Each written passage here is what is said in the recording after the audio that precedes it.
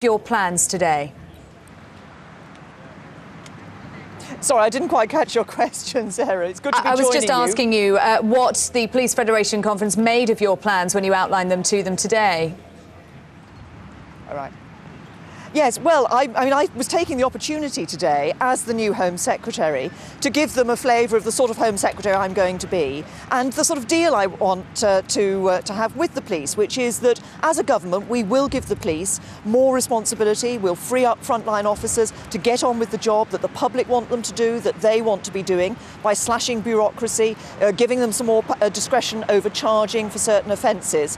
And uh, in the other hand, we will also change the model of bureaucratic accountability that we've had with the Labour government of diktats down from Whitehall all the time, increased red tape, uh, by a model of democratic accountability, which will be directly elected individuals in police forces who will be able to ensure that policing in their area is actually responsive to local needs.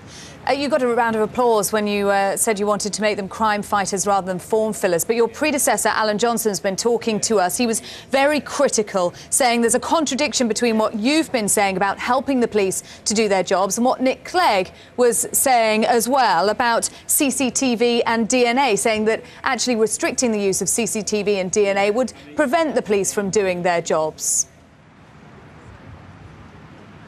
Well, I think one of the problems that prevents the police from doing their job at the moment is the excessive bureaucracy and red tape.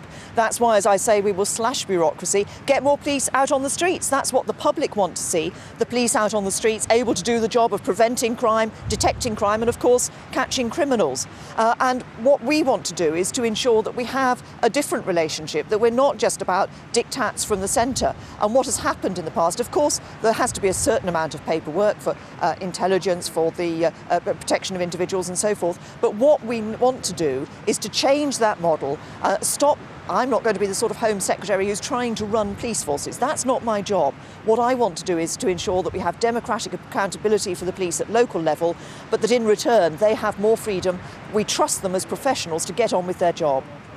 I think what Alan Johnson was arguing was if you restrict the use of CCTV, the use of the DNA database, then the police can't do their job. Solves, uh, crimes can't be solved as easily without those powers.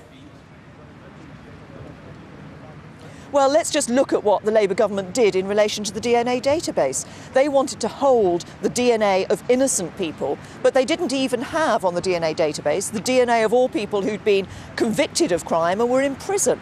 Uh, so let's first of all get the DNA uh, on the database of those people who've been convicted of crime and are in prison. Uh, I think the last Labour government took the wrong approach to this. Change is needed. As you know, the Deputy Prime Minister, Nick Clegg, has, has uh, referred to that today. Uh, it's a commitment that we had as a Conservative Party. It's something the Liberal Democrats have been uh, very concerned about as well. So we're going to take this forward. But as I say, let's get the DNA of those people who are in prison on the database first.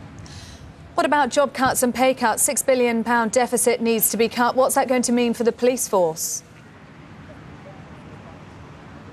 Well, of course, we live in very tough economic times because of the size of the budget deficit that was left by the last Labour government. And this does mean that tough decisions have to be taken, and the Home Office and, and, policing will have to bear some share of that burden. But what I have been able to confirm to the police is that we will abide by the third year of the three year pay deal that was negotiated under the last Labour government. Theresa May in Bournemouth, thanks very much indeed for your time this afternoon. Nick Clegg has set out his plans for wide-scale reforms to give the public a bigger say in Westminster politics. In his first major